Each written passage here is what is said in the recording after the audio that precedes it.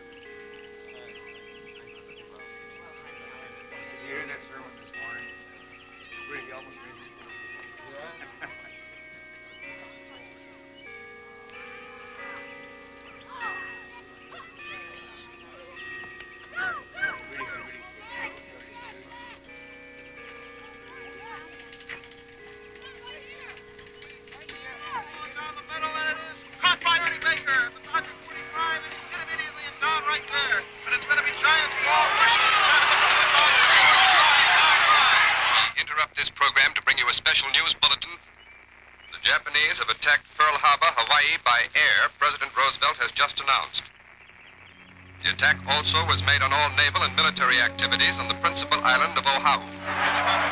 play. They'll spot the ball at the Dodgers' 40-yard line. Second down five for the Giants. Ten strong now, 10 carries, 44 yards for the day.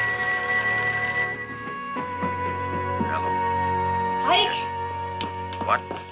Mike? Yes, any word on casualties? Yes, sir. No.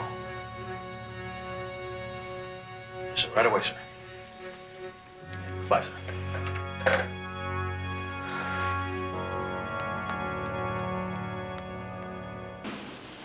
Everything's in an uproar around here. Nobody knows what's going to happen next. When they say the Japanese submarine shelled Los Angeles last night. I don't believe it. Well, they do in California. There's absolute panic. What do you mean by panic? They canceled the Rose Bowl game. That's panic.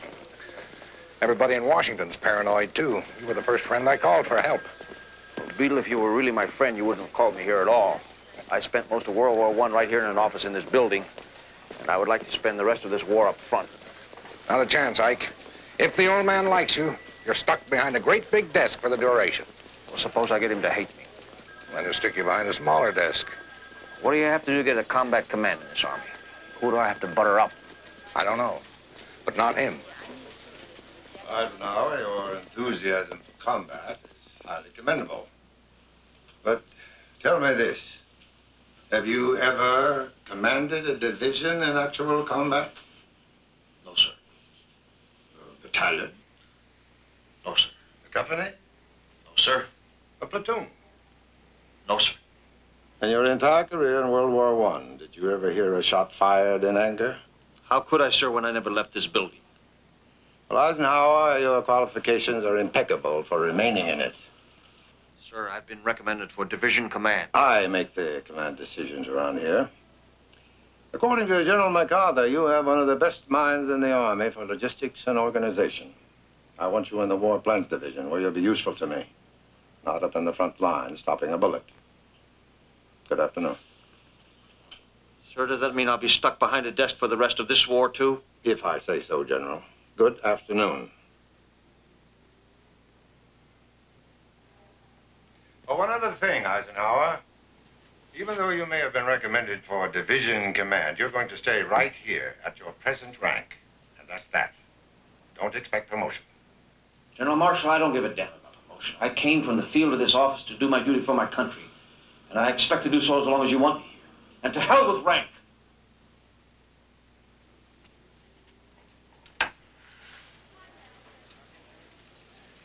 Sir?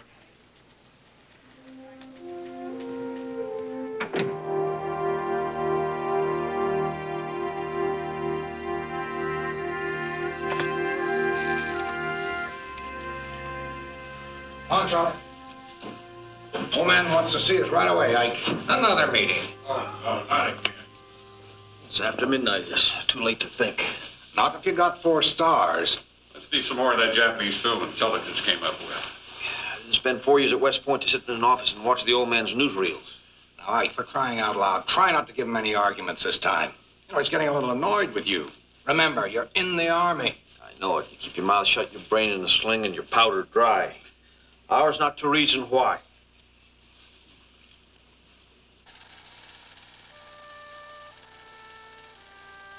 Japanese forces stormed the fortress of Corregidor in the Philippines and overran its last few survivors. These recently acquired Japanese films show General Jonathan Wainwright signing the first military surrender in the history of the United States of America. And the death march of American prisoners captured with him on Bataan. Reports smuggled out of the Philippines say that almost 50% of the U.S. soldiers in that march did not survive the ordeal. Enough of that. Gentlemen, how can we make sure it never happens again? Obviously, by doing everything we can to strengthen the Navy, George. I would have been disappointed if you hadn't said that, Admiral. Let me show you why. Our west coast, from Seattle to San Diego, is wide open to attack and invasion. We must immediately write off the war in Europe and shift our fleet out of the Atlantic so that we can bring every ship, every weapon, every man available to the defense of our Pacific coast. This is not my considered opinion alone. I believe this is the opinion of every ranking officer in all the services. Baloney. Eisenhower, was that your voice I heard? Sorry, sir, just a private opinion. Would you care to make it public and give us all the benefit of your one-star wisdom? Sir, almost every officer in this room is better qualified to speak than I am, if rank is the measure. Eisenhower, you surprised me. You told me yourself you have no regard for rank. We have these informal discussions to encourage independent thinking. If you have anything of value to contribute, it's your duty to do so now. If you put it that way, sir, I have no choice.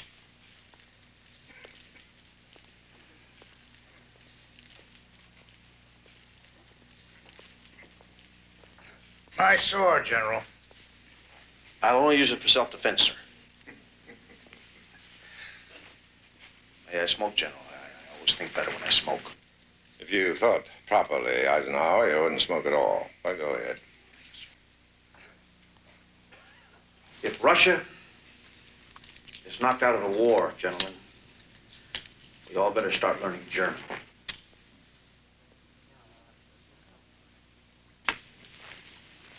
Now, Europe, not the Pacific, is the only front that all three allies can attack simultaneously the Russians, the British, and us. Now, British Isles must be turned into the greatest military base of all time so that from it we can throw the largest amphibious force in history across the English Channel to invade the coast of France. A lot of our experienced officers say a frontal attack on the massive fortifications across the English Channel would be military suicide. I'm not advocating an attack tomorrow, sir. But one day soon, America will be mass producing combat planes by the thousands. The Luftwaffe will be driven from the skies.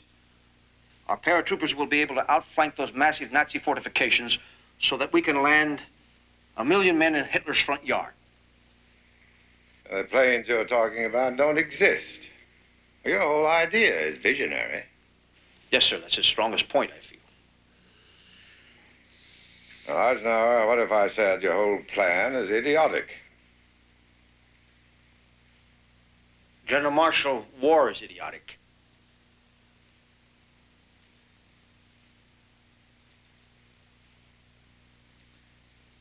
How soon could you leave for London? Sir? The President and I have been talking about a plan similar to yours with the British. Are you packed? Well, General, I, I never unpack. I'm in the Army.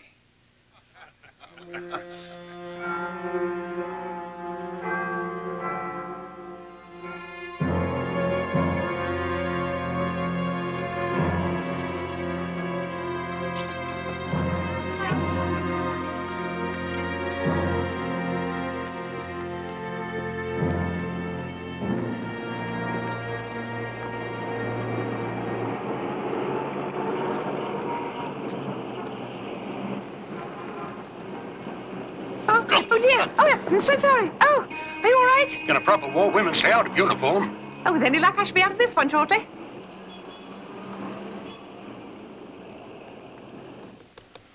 Damn, damn. Just a minute. I'm coming. Hold it.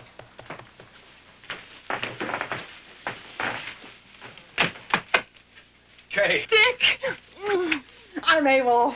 I've been waiting in the car all morning for one of your bloody American generals, and I finally told Sybil I was starving for lunch. Mm. Oh, I am starving. Mm. Kay. Me Again, that's what I came for. Mm. Kay, I know I'm not very neat, but I do have one rule. Not in the hallway. Oh, why not? Shake up this stuffy old hotel. Connaught, it's the finest hotel in London. They still have toilet paper. Oh, darling, you're wounded. Yes, but they don't give purple hearts for shaving. Still, that's as close to combat as I've come since I got here. Not true.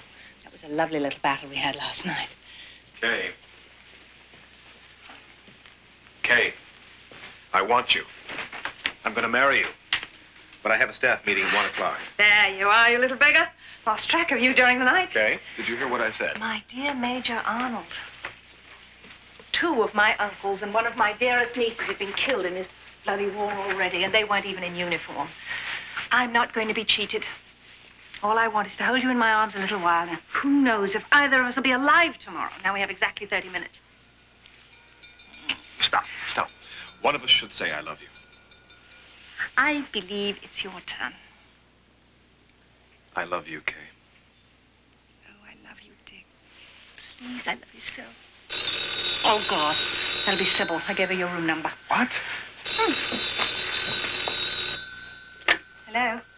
Oh, Sybil, you couldn't be more inconvenient. Well, not quite yet. Oh, damn. Yes, I'll be right there. What's his rank, love? A two-star? Do you realize I dragged myself out of bed at 5 a.m. and have been waiting the whole bloody morning for him to show up? How dare he have only two stars? What's his name? Oh, God. Can you spell it? Eisenhower. You sure he's on our side? yes, yes, I'll be right there. If he was a spy, he would have thought of a much better name. Can you imagine? A two-star. Sybil's getting half Arnold. He's got three going on four. Mm, I always get part of the chicken, goes over the fence last. Mm-hmm. Mm. Oh, to be continued. Mm.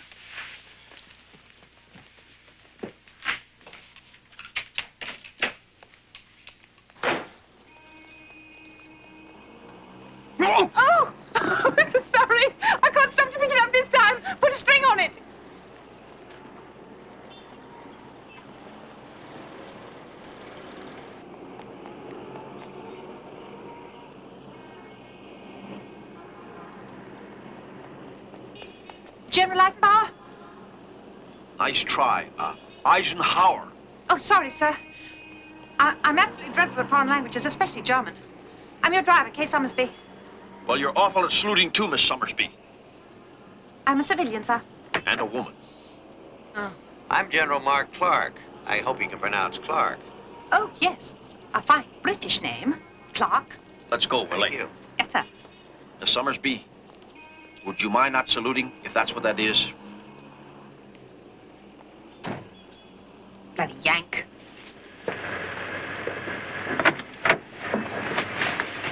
Which is, sir? The Connaught Hotel. What? Good Lord.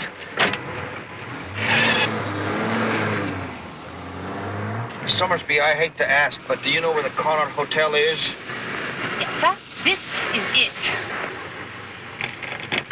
For your information, General, I got out of a very warm bed at 5 a.m. to drive you and General Clark no more than 250 yards. It's going to be a tough war for you Americans. I am glad you are saving your strength. Sir. Miss Summersby, like it or not, we are allies. We're going to have to learn how to get along with each other. Now, since the British nation is our host, I suggest you start first.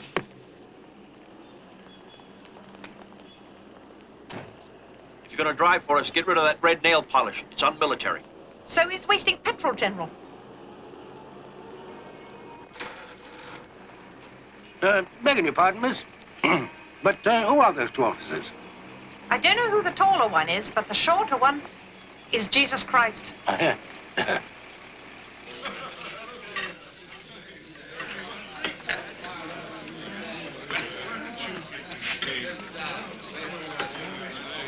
Gentlemen. Gentlemen,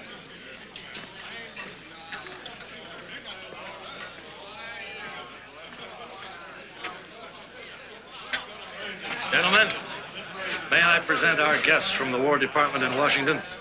General Dwight Eisenhower, General Mark Clark.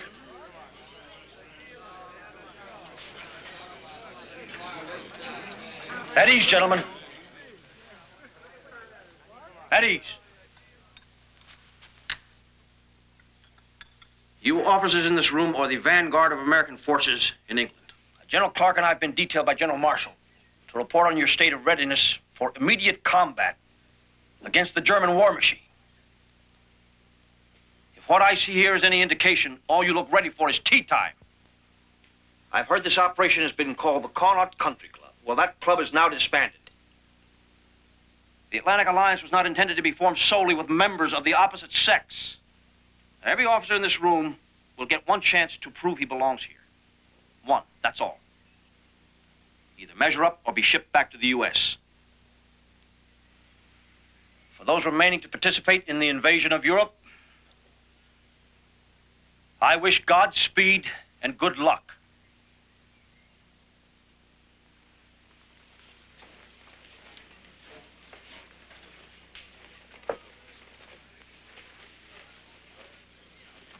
Well, what do you think? You know, for the first time, I have a strange feeling there's a war on. Our impulsive American cousins must learn the virtue of patience. They will never succeed in shipping sufficient numbers of men and material to this side of the Atlantic to launch an attack across the English Channel this year or even next year. In the meantime, they must rely on the British General Staff to lead their inexperienced army and navy on the long, slow road to victory. General Montgomery, shouldn't we work together instead of apart? General Eisenhower, the British Army and the Royal Navy were winning wars when America was inhabited by naked savages. Now that we've got our clothes on, maybe you ought to let us help. And so you shall. But the only attack we can launch, with any possibility of success in the near future, even with America's eager help, is one directed against the German and Italian forces occupying North Africa. Now, this... May I ask who's smoking?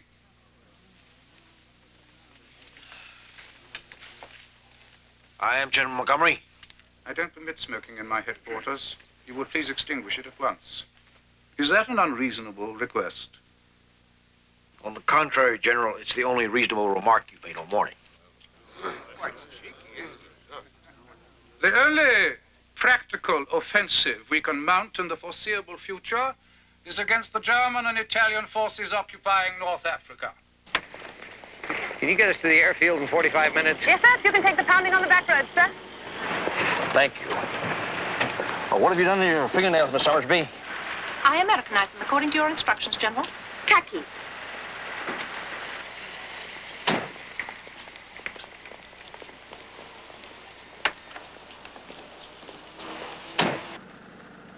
North Africa's ridiculous. Across the channel and straight into France. That's where we should hit them. And this year. From what I've seen, Ike, we won't have enough fighting men over here by then. What about fighting women? Wipe this conversation from your mind, Miss Summersby. It's privileged and confidential. British women do many of the jobs you Americans reserve for the GIs. We lost a lot of men already, Miss Summersby. Britain uses women because she has no choice. My dear General Eisenhower, I watched a thousand bombs fall on London one awful night before Christmas. And the Nazis weren't particular who they fell on.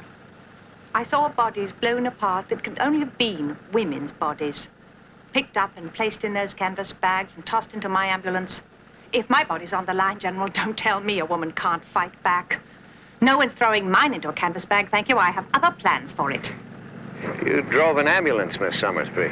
I and a few hundred other weak women during the Blitz.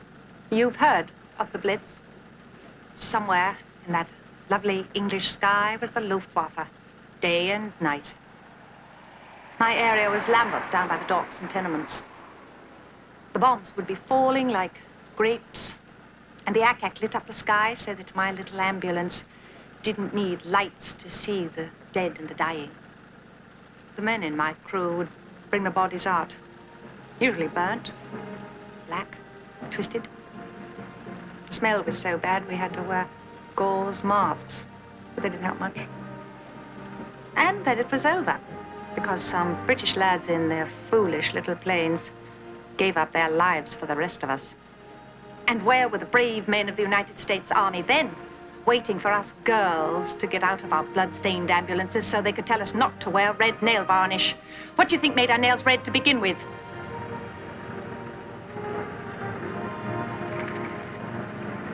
Summersby, I want you to know you succeeded in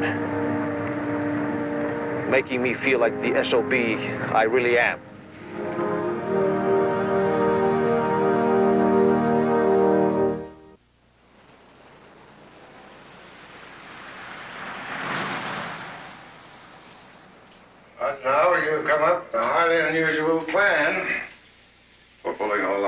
Forces together in time for a strike across the channel this year. But the idea of a single commander over all our unified forces in England is not standard operating procedure. You know how the Army feels about anything relatively new. We're still feeding 2,000 mules. Most of them wearing gold braid. The present company accepted. Of course, sir. Eventually, I believe there should be one commander over all Allied forces. In the meantime, the United States should take the first step by eliminating all separate commands of our Army, Navy, and Air Service and put them all under the command of just one man. I thought Franklin Roosevelt was commander-in-chief of our armed forces. If you'll excuse me, General, what's his training for the job? Why don't you ask him? Who do you suggest as that one man to prepare our forces in England for the invasion? If you're not available, I believe there's only one other truly qualified officer in our entire armed forces. General McNarney. You are absolutely sure McNarney is the best man. Not only the best, but outside of yourself, he's the only one qualified. Eisenhower, I wish I were as certain of what I was going to have for dinner as you are about the future of mankind. Now, don't tell him how to steer his wheelchair. Joe McNarney? Never. We need him in Washington as deputy chief of staff. Mr. President, I honestly believe he's the best qualified for the job. Didn't General Marshall tell you that I concur with his choice? No, sir.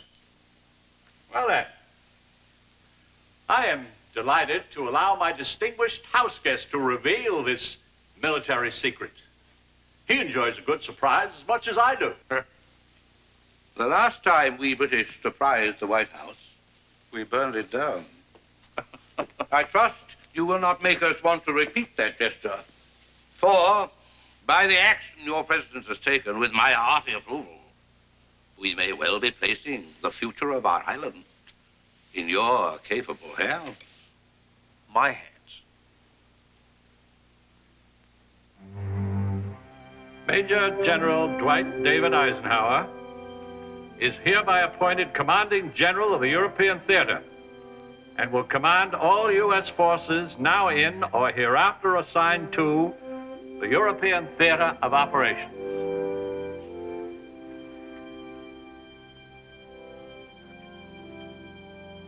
What's the matter, Ike? Don't you want the job? Of course I want it, Mr. President. General Eisenhower, you will be preparing men for an invasion such as has never been seen in human history. Because of the demands of war, you will have to make many decisions by yourself, affecting the lives of hundreds of thousands of men. Until this moment, I always thought mine was the loneliest job in the world.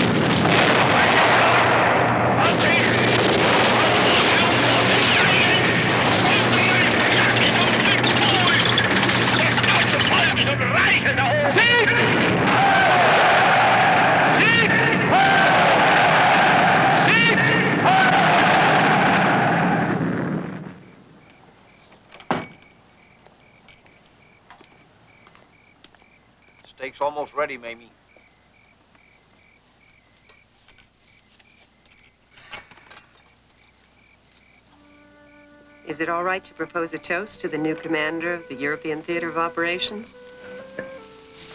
Only six months ago, you were just a colonel in the regular army. I'm so very proud of you, Ike. This almost makes up for not getting to play in the Army-Navy game, doesn't it? Almost, yeah. I don't know whether I deserve congratulations or condolences. Why? You frightened? Damn right. I'm scared to death, maybe. I don't know if I'm ready for it. Ike, when do you have to leave? Me to go before I change my mind. You'll go. You'll go and I'll stay. You know, come to think of it, I guess I'm the best soldier in this family.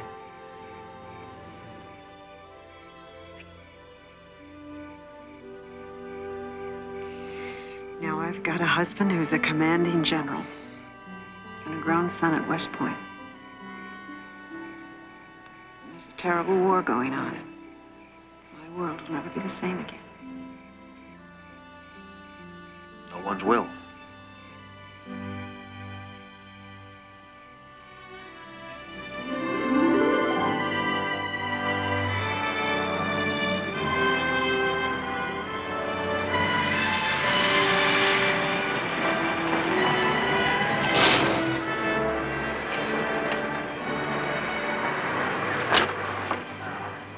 Twenty-two and a half minutes from Bushy Park. That's excellent. Thank you, General Spaatz. Although I think I did nip the trousers of that Bob into Trafalgar Square. Seligaire, Miss Summersby. Oh, uh, General, uh, I know this has been terribly forward, but um, are you liable to be long? Well, it's my first conference with General Eisenhower. My guess would be yes. Why? Sir, my fiancé is major on staff here, and um, I understand he has some time free. Would I be permitted to be unmilitary for perhaps 30 minutes? Kay, you've never complained about the hours I've worked here, the jobs I've asked you to do, so any time that your major is in town, you just let me know and I'll stop the war for you somehow. Would, uh... Oh, an hour and a half be sufficient? Oh, yes, sir. Thank you, sir. Well, it certainly wouldn't be sufficient for me. Go ahead. Oh, no. He's a lot that one, Sybil. I can hardly believe he's American. Well, he's probably not full-blooded American, or he'd be like their Eisenhower. Did you know he'd made all the officers move out of the Connaught and into barracks? What? We can't do that to officers. Oh, tell that to your spit and polish general. They're calling Grosvenor Square Eisenhower Platz. But never fear. Flat 12E over the greengrocers in Shepherd Market. I, I couldn't think of taking your flat. No, it's not mine. This is war. The girls got together and chipped in on a lovely little foxhole. You bring your own fox. Kay! Dick! Oh! Darling, ages. Oh, yes. Uh, no fraternizing with the natives. That order has just come down from the commanding general. Darling, can we get married in an hour and a half? That way, that Eisenhower ogre will have to let us fraternize as often as we want to. Well, there's one slight technicality. You see, I've just asked for combat duty. Combat? Dick, have you gone mad? Hey, you have a nice, cushy job at headquarters. Well, with Ike in charge, combat's the coward's way out. Oh. No, no, no, listen to me. The truth is that he's made us all feel a little bit guilty. Now, Kay, you've done your share in this war. It's time for me to do Oh, for heaven's sake. Obviously, under the circumstances, it wouldn't be fair for me to ask you to marry me now.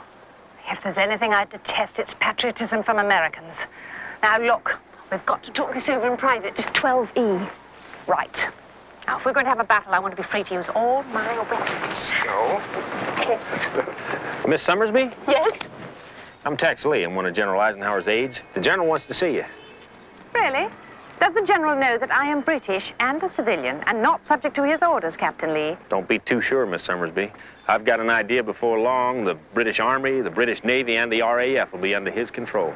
Good Lord. I may become a nun. Too late, dearie.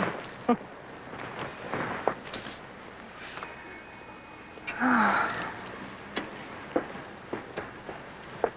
put it briefly, my American driver's got me lost three times in this city.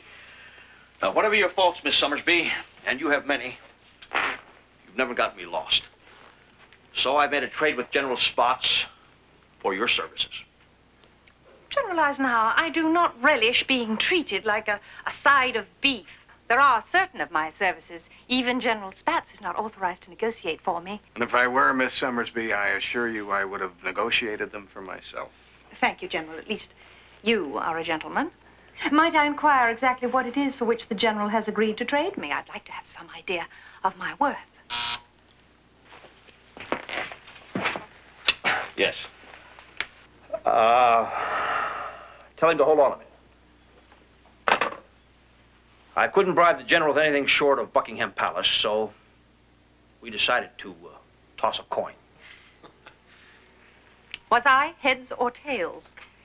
Miss Summersby, it may seem unimportant to you, but getting me where I have to go as quickly as possible may be of some aid to your country. I would be happy to point you in the direction of the Connaught, sir, if you were certain it will benefit the British Empire. Come along, Kay. What did you ever do to her? Miss Summersby? I've been looking all over London for you. I brought this back from the U.S. Consider it an apology. What, no Hershey bars?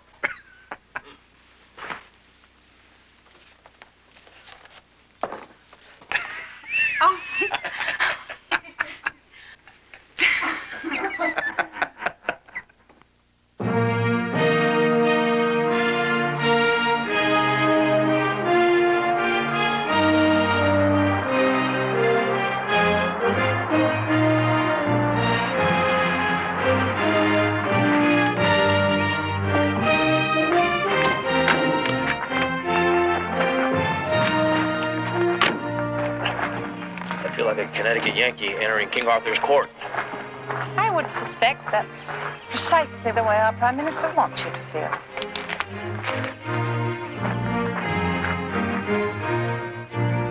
Prime Minister, what sort of fellow is this Eisenhower chap? You'll find the Americans have sent us a clerk. With your approval? My insistence. It will be simpler to maneuver him out of our way. Rule Britannia. My dear I... you have houses like this in Abilene, Kansas, General? I was told there was one, Mr. Prime Minister, but my mother would never let me visit it. Well, come in, gentlemen, come in. Here's the conference room. Help yourself to a drink if you want it. Down to work so quickly, General. We don't have much time to waste, Mr. Prime Minister. Joint Chiefs feel we must uh, launch the Channel invasion this year. My dear Eisenhower, with all due respect to America, the far-sighted country that gave the world my mother, I urge caution. After the frightening news from North Africa, that Rommel and his Nazi Afrika Korps have destroyed the British forces at Tobruk and are once more hammering towards Cairo and the Suez Canal, it seems obvious that the invasion of Europe will have to be put off at least a year. I thought this meeting was called to set the date. Precisely. The date I propose is next year, June 1943, or possibly 1944. Well, what about the year 2000 that has a nice uh, ring to it? I quite agree. I'm willing to wait if you are. Mr. Churchill, you made a promise to Mr. Roosevelt, you made a promise to Joseph Stalin that we would set up a second front in Europe. Are you saying England will never do it?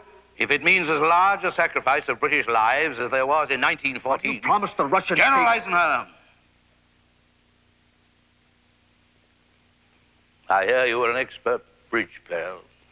You must know that Uncle Joe Stalin has more aces in his hand than he wants his partners to see.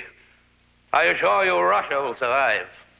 But Rommel and the Afrika Korps are heading for the oil fields of Arabia.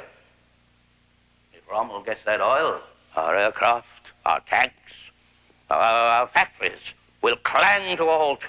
We must act now. If we land amphibious troops here on the North African coast, Just a minute, sir. Just a minute. Lord Mountbatten, you're planning to land in Algeria and Morocco, and they belong to the French. They hate you worse than they hate the Nazis. Yes, when the French surrendered to the Germans, we did try to sink the French fleet. The Americans would have done the same. Maybe. But, uh, by God, we would have pulled it off. You didn't. Now, there are still French battleships at Oran, Casablanca, and Algiers, where you're talking about landing. Yes, and something must be done immediately to get the rest of the French fleet to come over to our side. Exactly. How? I promise you I will crawl on my hands and knees and personally kiss the rear end of every admiral in the French Navy, if that'll do it. With the French, it might work, but I doubt it. I'd say our chances of surviving the French artillery, landing in North Africa, and making it stick are less than 50-50. And, General Eisenhower, we must land, and uh, we must make it safe. But how, sir? I have been in communication with your president. He has promised the tools to do the job. Weapons, supplies, troops, and the man to do the job. Congratulations, General Eisenhower. I am recommending you to command the Allied invasion of North Africa.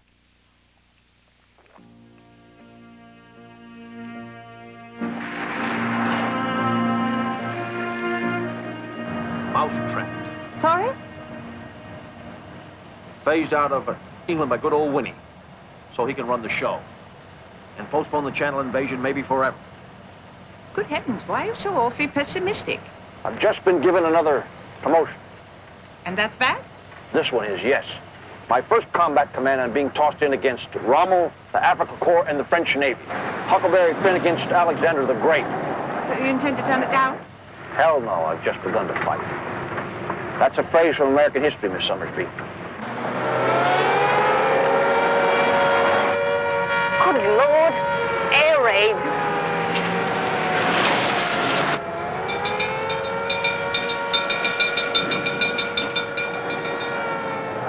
Close your shelters round the corner. Forget the shelter. Get me back to headquarters. Oh, not very likely. It's much too dangerous.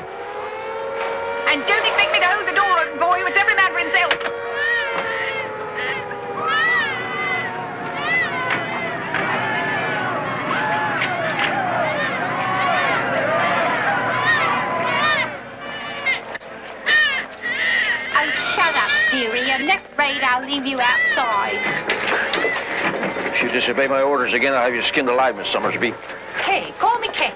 Next time you leap out of my car, you may not have time for my full name.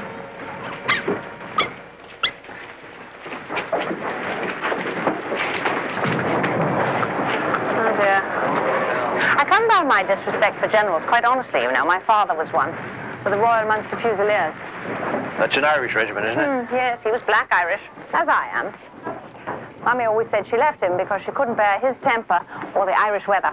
Personally, I never thought the weather was so bad.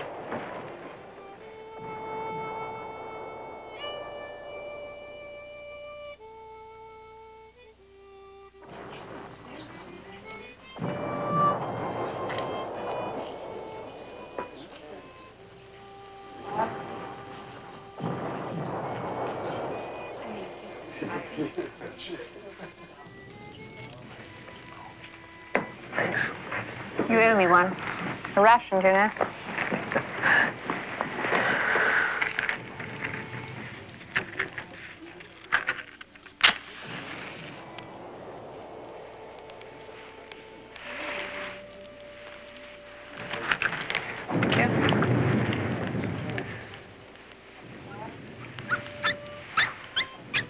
Oh, for Pete's sake. Look at here. Eh? Oh, I do hope there's no direct hit. I'm very much in love, and I do so want to get married first, if it's not too much trouble for God. I'd almost forgotten people still got married. I'd almost forgotten people still fell in love. Well, who is it? One of yours?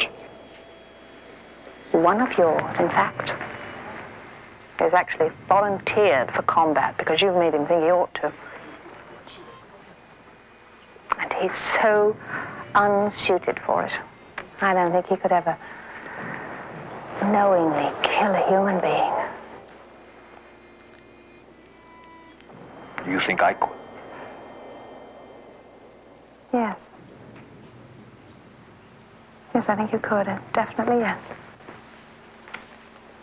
My father actually enjoyed it, he told me. Of course, only if it helped the Empire. I don't think I'll enjoy it very much when the time comes. But then I'm not from a military background like you. My mother and father are, are both pacifists. My grandfather was a minister. My mother cried when I told her I was going to West Point. She never has understood. Neither do I.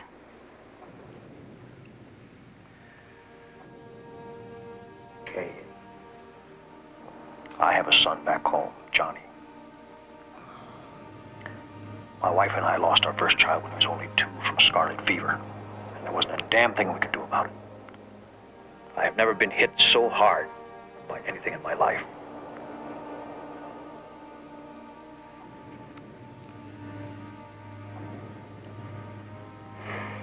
His name was Dwight also, and we called him Ike, although he could barely pronounce it when he died. Johnny's in his second year at West Point. I guess fathers are all the same. If you're a lawyer or a doctor, that's what you want for your son. And if you're a soldier, then that's what you want him to be. At least I did. But I can't help praying that the war will be over before he's in it. Now, if I should do anything to add one extra day to this war, or cost the life of someone like Johnny,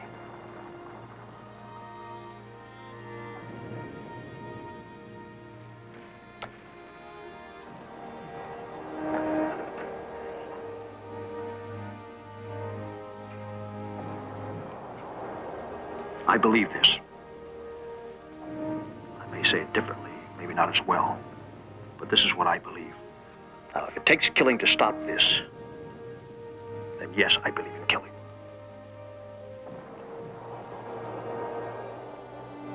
I didn't mean to turn this into a sermon, Kay.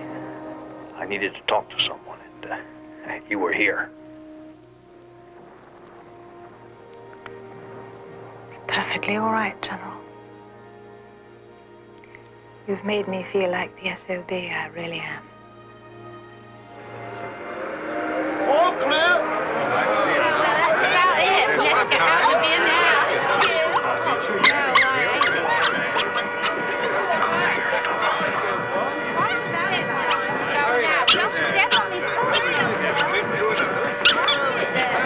Sorry, Governor, but I'm taking him back now. Lend lease, you know. Somebody forgot Robert.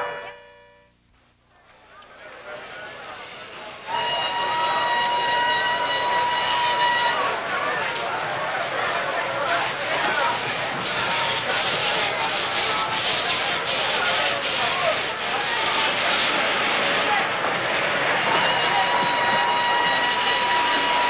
Kay? Kay! Oh, Joey! Oh, God. Everything got so hectic I thought I'd miss it. Oh, Blackie, I, I had the general's car. They wouldn't dare stop him. I broke every traffic law. Oh, let me look at you. Uh, gas mask. Yeah. Tried it on once, nearly suffocated. Darling, where are they sending you? Scotland. Scotland. Oh, my God. Do you know something I don't? Darling, I know everything you don't. I'm with the commander of this whole terrible mess, remember? What's in Scotland, Kay? I can't tell, not even you.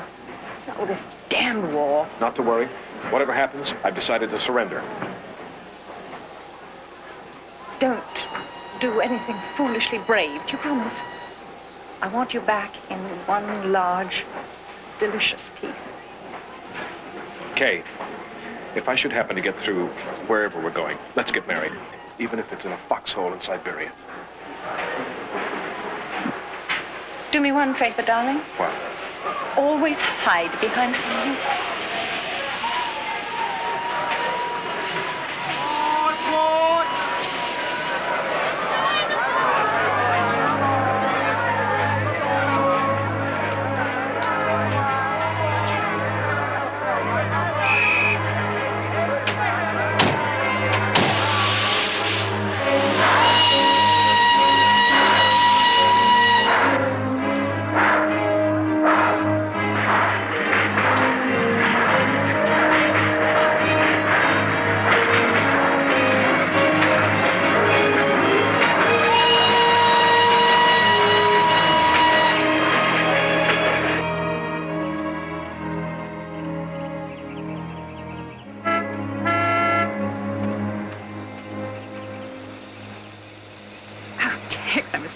Congratulate you on finding such a lovely hideaway for the General. And so close to London. Well, he's got to have one place where he can relax. You know, ride horses, play a little golf.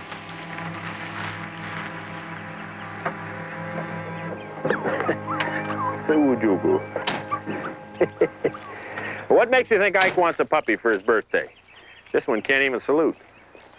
Besides, I thought you didn't care for American generals. Don't pry. Well, all right. I need a favor from the general, a big one. Ah, that's better. The war is confusing enough. What do you mean? I like my women to stay in character. Conniving. Very funny.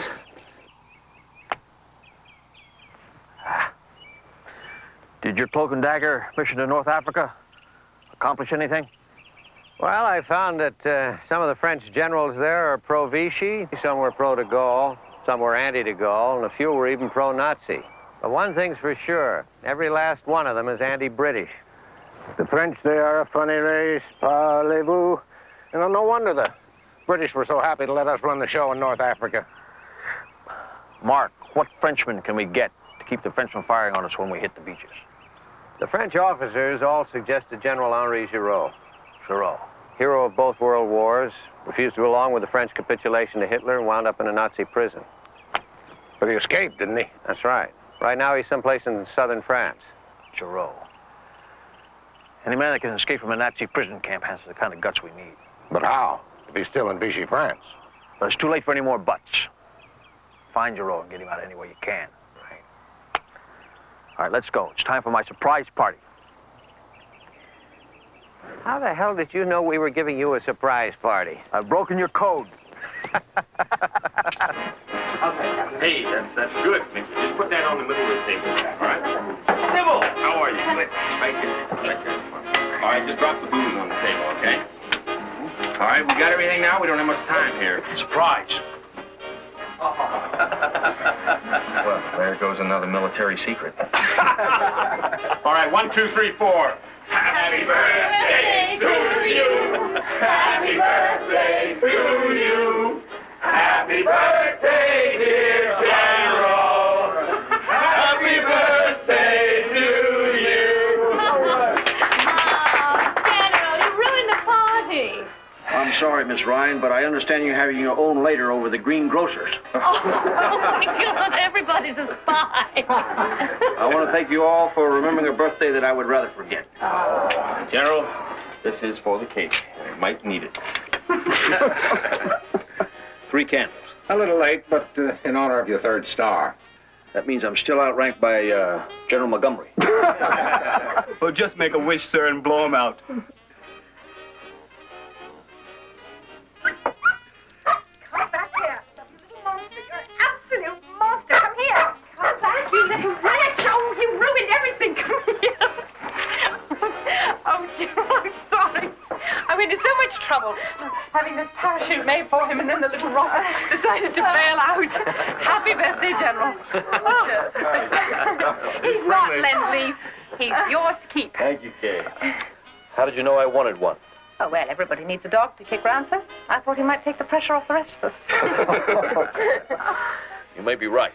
You better blow out the candles, General. They're melting my icing, and we can't get any more sugar. Take don't forget to make that wish. I want to.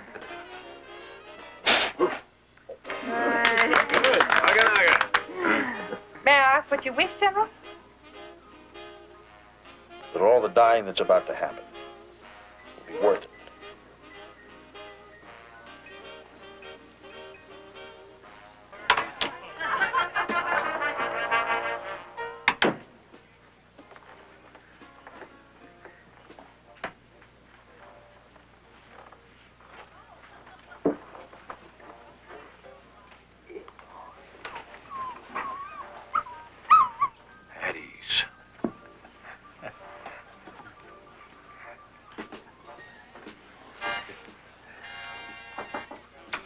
General? Oh, sorry. Am I interrupting some terribly hush-hush correspondence? Top secret and classified. I was about to write a letter to Mamie. Oh, What is it you want? I want to go to North Africa. Oh, yeah, that didn't come out the way I meant at all. I intended to plead. You could never plead, Kay. Argue, order, shout, but uh, never plead. That young man of mine, the one I told you about, Major Richard Arnold, he was shipped to Scotland last night, and um, being here, I, I can't help but know that that means he'll be in your invasion of North Africa. Kay, you've been cleared for sensitive information. But as you know, these things mustn't be mentioned. Well, I didn't think there was any harm in telling you. Sometimes I wish your prime minister felt the same way. How about your Major Arnold? What do you want me to do about him? Have him uh, transferred out? Because I can't. Won't do that. No, no, no, no, no. He'd hate it if you thought I'd done something like that. No, you see, the thing is, last night he asked me to marry him. Or I asked him, I can't remember which. He's asked me many times before, but last night was definite. We were both perfectly sober and fully clothed. Yes, that is quite definite. This isn't just some wartime roll in the hay, General. Dick and I have both been married before, and uh, my divorce has come through, and his will too any minute. I love him, and I would dearly love to become his bride before he stumbles into a booby trap or something equally foolish. If I'm in North Africa, I have a chance of bringing it off. But you're a civilian, Kay. I can't order a civilian into a combat zone. I'm not very civilian, you know that. And, and you will need a driver over there. Generals never walk. So now you know why I gave you this bloody expensive puppy, sir. Well, now, who's going to train this bloody expensive puppy? Oh, I'll teach him, General. I promise you. He's very bright. I'll explain things to him, and I'll set him a good example. I'm sure you will. You know, I think I'm going to name him, uh, Telek. T-E-L-E-K. That's for Telegraph Cottage and K. Now, do you like it? I mean, uh, since you're training him, I guess he's half yours. Yes. Does that mean yes or no?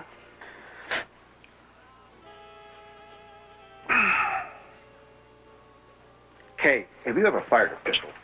Oh, yes, sir. My father insisted I learn to shoot and to ride. He was in the cavalry, and I think he felt everybody ought to be.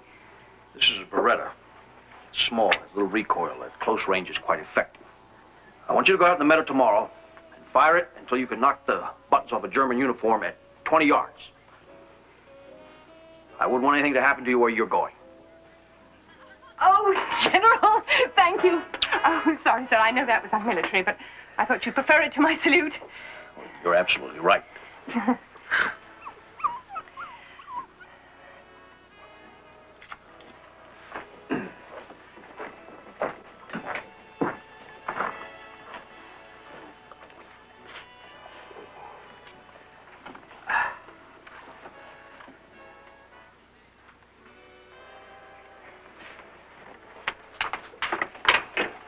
your major to be careful. I wouldn't want him on my conscience.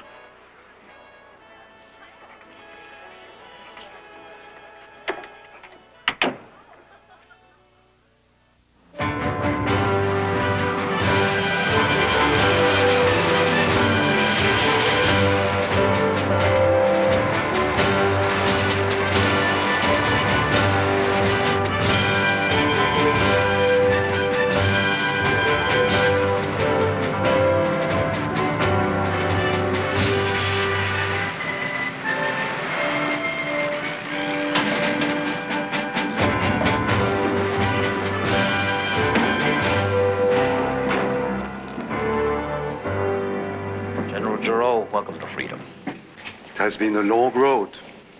Je vous embrasse. Au nom de la France. This way, sir. I'll show you I'm ready to take over full command to the suite. I tried to explain, but he can't understand my French, and he doesn't want to understand my English. Naturellement, the first landings must occur near Marseille. Then we must move quickly up the valley of the Rhone and split the Nazi forces in two. And then Paris. General Giraud, obviously you've been out of touch with the uh, military situation. The attack will occur at dawn tomorrow, but not in France. In French Morocco and French Algeria. Incroyable. Unbelievable. You are attacking neutral French possessions. The French army and navy will resist to the death. That's why we need your help here, sir. This way, General. I understand your feelings. But North Africa, we must try to stop Rommel's drive toward the Mideastern oil. Throw the Germans into the Mediterranean. Now, you must order the French Navy and coast artillery not to fire on our ships. I must refuse. It is impossible. I will take command only to return with the liberating army to the soil of France. For this reason, I am here. For this reason only. For God's sake, you've been rotting in the Nazi concentration camp. Now, who is the enemy? Them, not us. Now, you must issue this order. What will be my authority? Commander of all French forces in North Africa. I'll give you my guarantee. And what will be your authority? Commander-in-chief of all combined Allied forces in this theater. You do not understand. My country. My family will not allow me to assume a subordinate command. I am Joffre. I am Foch. I am Giraud. I am France. Well, by God, I'm Ike Eisenhower, the toughest general. Damn Kansas farmer you ever tried to throw a horse manure on. Ike. Ike. You don't have one soldier to command in this invasion except for the poor misguided idiots who are planning to shoot the wrong way. You have a whole French Navy planning to shoot the arms and legs off American kids who think all Frenchmen are like Lafayette. You have a French government in Vichy helping to ship French Jews to Nazi concentration camps. And don't try to tell me you're God, General Giraud, because I know you're not. Charles de Gaulle is God. He told me so himself. Now you're going to tell the French army and French navy we're trying to free your country, not hurt it, or by God, I'll break you to civilian second class. Never have I been so outraged.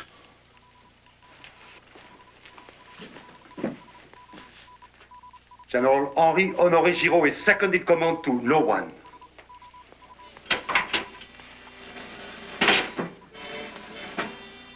Uh, you've just seen a lesson in Kansas diplomacy. When am I going to learn to keep my mouth shut? Hello, everybody. This is Lowell Thomas in London. At dawn this morning, a joint British and American task force launched a series of landings in French North Africa. They hoped that the French would welcome them with open arms. Ah, but they were wrong. French naval vessels and coastal batteries opened up a murderous bombardment. Allied naval vessels had no choice but to return the fire, and the battle was on.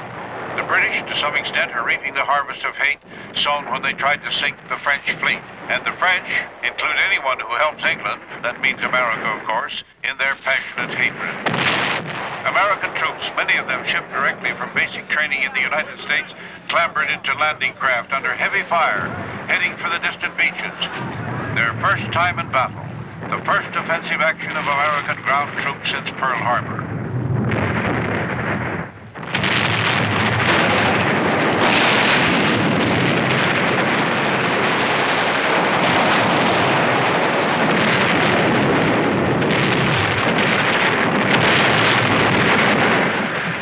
The French in Casablanca Fortress have opened fire on our ships. They've scored a hit at 14,000 yards. Three of our paratroop planes shot down, sir. Where the hell's George Patton's task force? We've lost radio contact with his ship, sir. Heavy artillery at Algiers Harbor, General. More French batteries shooting at us. French, they are a funny race, Parlez-vous. What a waste. What a terrible waste. Patton was supposed to land near Casablanca four hours ago. Where the hell is he? Oran Airport on fire, sir. Ike, Marshal Petain is broadcasting from France. He's ordering the French Army and Navy to resist us to the death. Poor man speaking with a German accent. Sir, General Patton radios that he's ashore in force at Casablanca and kicking the hell out of the French.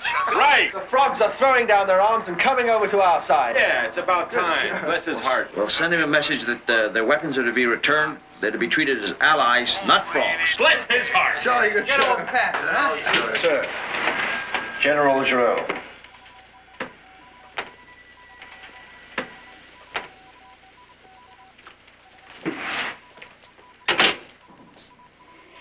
Has been a terrible night for France, for me, and for you. General Henri Giraud places himself under your command.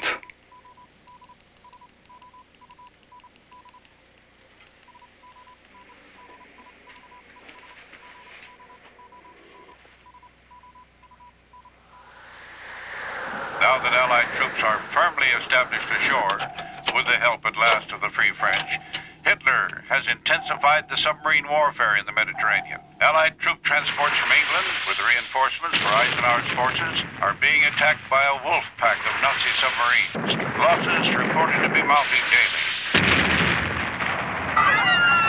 This is the captain speaking. Abandon ship. To your stations. We're gonna hit again! We're gonna die! We're gonna die! We'll never get to Algiers! I'll take that from our ship. Shut up! Get to the bloody lifeboat! One at a time, one at a time. Don't push! We'll never get on board. You must learn to obey orders. Discipline, damn it! Discipline! God, Kate! You sound just like that bloody Eisenhower! Well, thank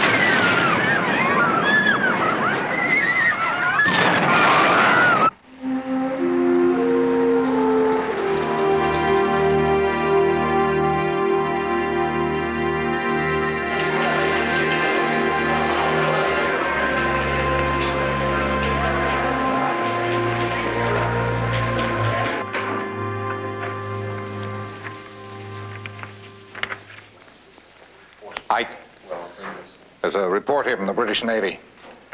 Four ships have been torpedoed near Oran. One of them is the Strathallan.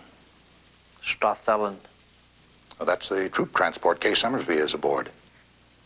Was aboard. Let me see that. Oh, God. Kay? They're picking up survivors, but that's all we know. I could have arranged for her to come with us by air.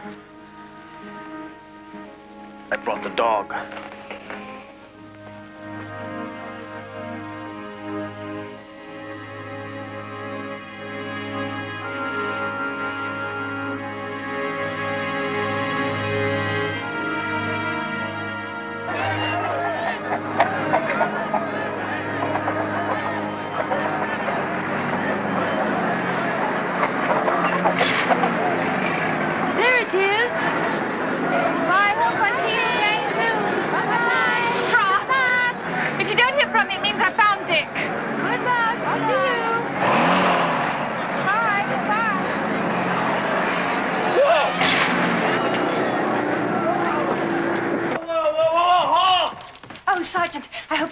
Can help me. Can you tell...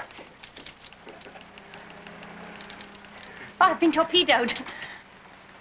At least. Can you tell me if Major Richard Arnold is at his headquarters? He's with the engineers. Any of you guys know a Major Arnold with engineers? Well, I do. Sorry, baby. Must have given you the wrong name when he torpedoed you. Excuse me, I'd like to place a call to headquarters in Algiers, please. Honest now, who are you gonna call, honey? General Dwight D. Eisenhower. My God, it's Queen Mary. Hey, what's all the noise? Lady wants, uh, lady wants to talk to Eisenhower, sir. Corporal, I'm tired and cold and nasty, but I wouldn't want to ask General Eisenhower to tear your head off, so please put the call through immediately. All right, what is all this bull about Ike? Ah, Colonel, I am a civilian on General Eisenhower's personal staff, sir. I am here by his orders and assigned to his headquarters. He will want to know where I am. I'm certain he knows that Strathallan has been torpedoed and sunk, so please, I beg you to help me reach him by telephone. What kind of game are you playing? I'm not. He wouldn't import a civilian for his headquarters staff.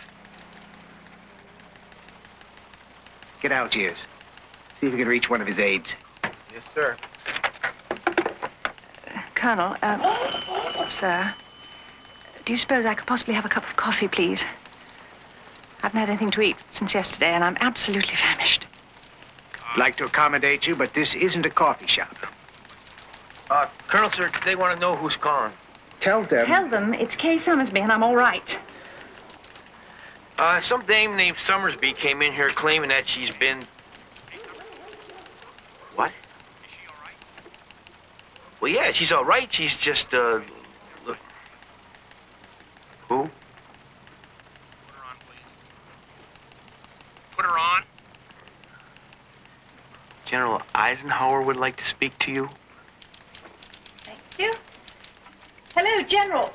Get the lady a chair. Yes, I'm not hurt. Oh, a little wet, but all in one piece.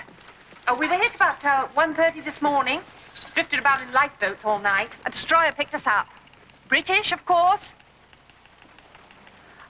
Oh, well, I muddled through.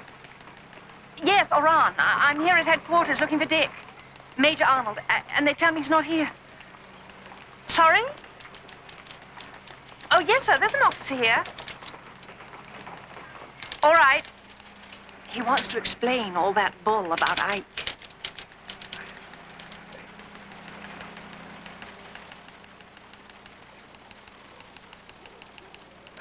Colonel Offenheim here, sir. General. Sir, sir, sir. Sir? Major Richard Arnold. No, sir. Oh, oh, oh, oh, oh just a moment, sir. Uh, there is a Lieutenant Colonel Arnold. Perhaps he's... Lieutenant Colonel? Yes, sir. One of you sad sacks go in the next office, get Lieutenant Colonel Arnold, bring him in here immediately. Promoted? Oh, poor Army. Yes, sir. He's uh, sending his own plane for you in the morning. Oh, isn't that lovely? Sir? Oh, oh, yes, sir. We'll make her as comfortable as possible, sir. Yes, sir. What? She can have my quarters. Kay? Dick! Yes, sir. Oh, Dick, no, no. Oh, darling. How the hell did you get to North Africa? Oh, it's too long a story. I, I was torpedoed and it was wet and awful, and the only thing that matters is that I'm here and that you're here. Mm. And look, look, I brought this night dress all the way from England for our wedding night. Now that your divorce is through, I don't want to wait another minute. Mm. We, we, we hauled the wounded into our boat and I tore up some of the nightie for bandages, but I only tore it where you won't miss it. And oh, mm, darling, you know what you can do for me now? What? Get me a dreadful American hamburger, please. The Allied advance in North Africa has bogged down in the mud and rain of the worst winter in memory. And out of the storm and mist has come the echo of a name sending a chill through the bones of those who remembered the armored blitzkrieg that destroyed France. Rommel, Marshal Erwin Rommel, on the march again. Hitler's ablest general has ordered the huge Tiger tanks of his Afrika Korps to make a surprise attack. Aided by German air power, his tough Nazi panzer units have suddenly slashed into the Tunisian mountains and given green, disorganized American troops one of their worst defeats in our military history at a place none of us ever heard of before, Kasserine Pass.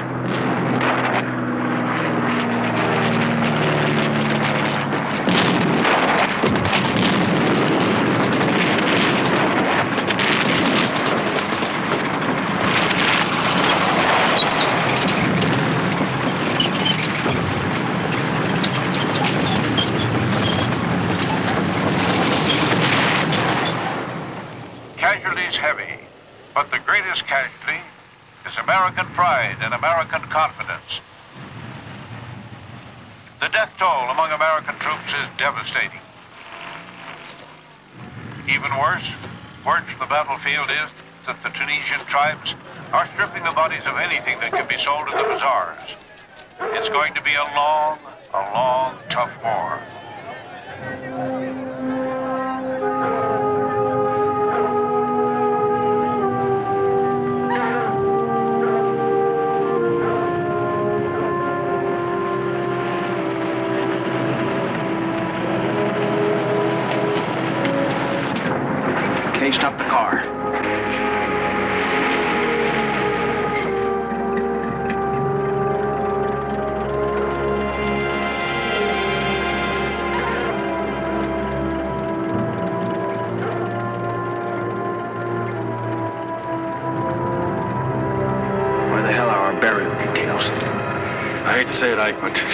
Overworked in this sector.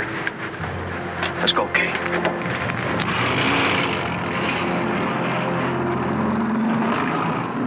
Rommel isn't taking any prisoners this trip. Right now, immediately, I want a counterattack launched. Plane coming in at 11 o'clock, Mr. Messerschmitt. Can you hear me? Look out!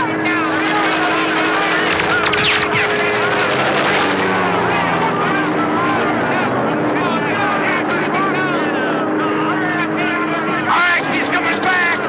Get out.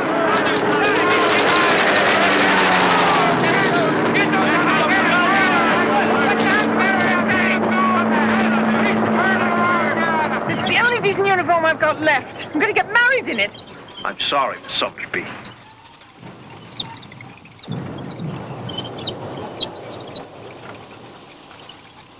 I forgot to say thank you, didn't I? You bet your stupid tail.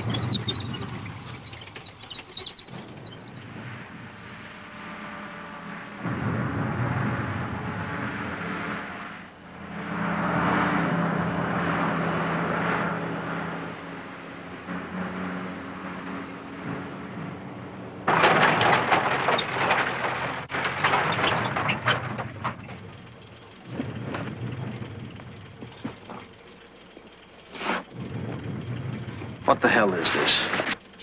General Hoffenberg's command post. Whole company of combat engineers has been working day and night to build it. It's bomb-proof. Until now.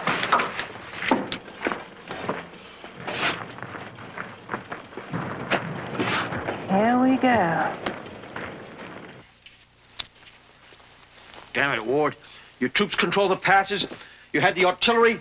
You let Rommel's panzer surprise you. And now there are 1,500 American boys lying dead in the Algerian mud, being picked over like hogs in a slaughterhouse. Ike, the French wouldn't take orders from me. The British wouldn't take orders Well, from why anybody. the hell should they when you're sitting here in your mink line foxhole getting the battle phone in 70 miles from the front? Now, Ward, within 24 hours, I want you to attack Rommel with everything we've got. It'll take a lot longer than that to perfect our defenses. You didn't hear me, Ward. Attack. I said attack. Now, I'm taking full responsibility. Now, where's the best place to hit and with what? All right. I'd say probably our best position. Right about here. Fondouk-Sbeitla Road. We'll start with the 18th Armored, 16th Infantry. Have you personally seen the terrain at the Fondouk Road? Have you ever looked at the 18th Armored Tanks? All the reports right here. Erwin Rommel wrote a book once, Ward. I memorized almost every word of it because I knew I'd have to fight him someday. He said, nothing can take the place of the commander at the front. Let the men see you. The higher the rank, the greater the example of the commander on the men. In that case, Ike, maybe you should go. Okay, Ward, I will. And when I get back, you better damn well get out there and see for yourself. And if you follow up again, I'm kicking your tail back to the U.S. and putting George Patton in command. Now get me a jeep and a driver and tell him to get me as close to the front as he can. And Ward, if Rommel attacks, I'll phone you. Don't let it ring more than once.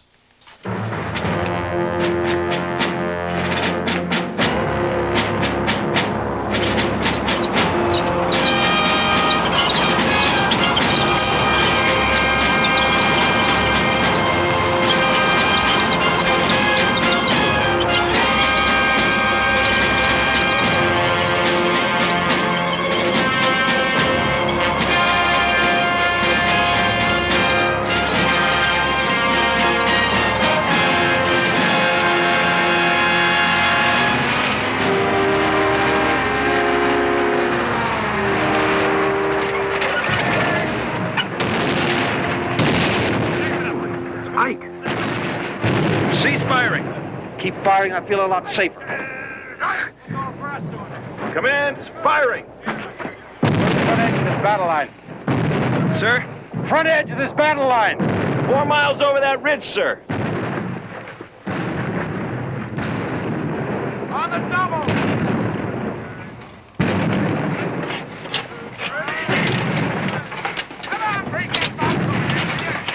Soldier, don't stop. I just want to see how these machines are doing. Was a woman, I'd kick her out of bed, sir. Why? It's a stinking coffin. It's got a pea shooter for a gun, wouldn't blow the cap off a bottle of Budweiser. The supply gave us training ammo instead of armor piercing. Why was that? That's all they had. Krauts are using stuff goes right through the plates. Uh, What the hell, right? I guess back home they need all the good steel for Cadillacs. The new Sherman tanks are on their way now. Four of my buddies on their way too, sir. Just brought them in. Over there.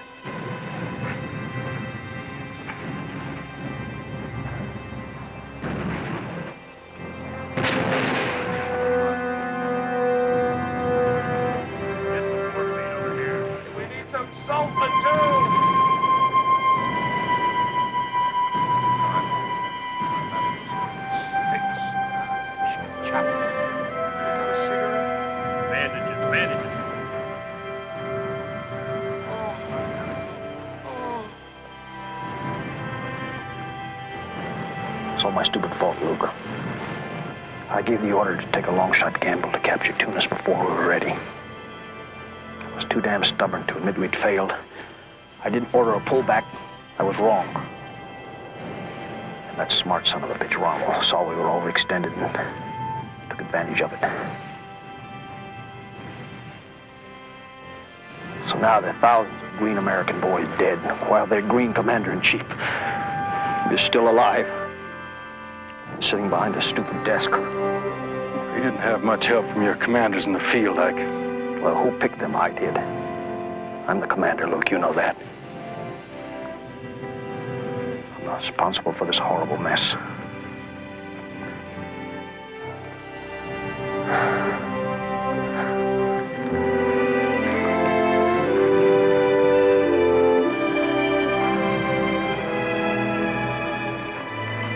I've never seen men die in battle before.